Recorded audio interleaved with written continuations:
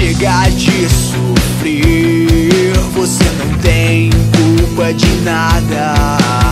Às vezes as coisas acontecem com as pessoas erradas. Asteroides e estrelas brilham lá no céu.